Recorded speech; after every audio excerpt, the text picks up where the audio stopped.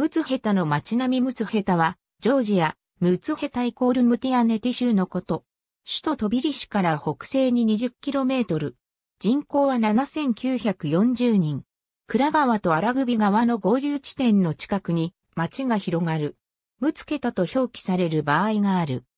紀元前6世紀に成立した西部グルジアのコルキス王国東側の内陸部は同じ頃アカイメネス朝ペルシアの一部であったが、紀元前4世紀から紀元前3世紀にかけて、ムツヘタを首都とするイベリア王国が成立した。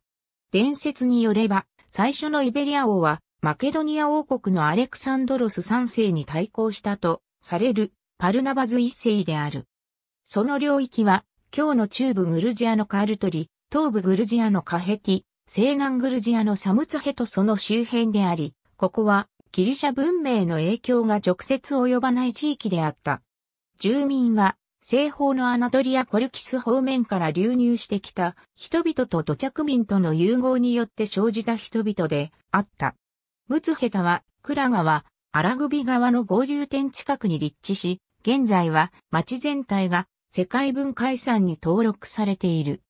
中世に著述されたグルジア年代記によれば、この頃にグルジア文字が考案されたとしており、この文字はアラム文字の強い影響下に成立したと考えられ、ヘブライ文字やアラビア文字などと同型である。なお、ムツヘタの地名はこの地を開いた主張、ムツヘトスに由来すると言われている。ムツヘタは5世紀のオーバーフタング一世が飛びリ市に遷都するまでイベリア王国の首都であった。町を見下ろす山上に位置するジワリ修道院と町の中心に位置するスベティツホベリ教会が有名。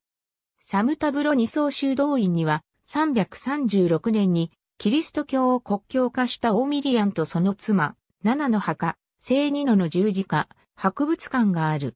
ムツヘタのいくつかの宗教建造物は、ムツヘタの歴史的建造物群の名で、ユネスコの世界遺産に登録されている。付近には、アルマジトリデなど多くの遺跡が分布している。ありがとうございます。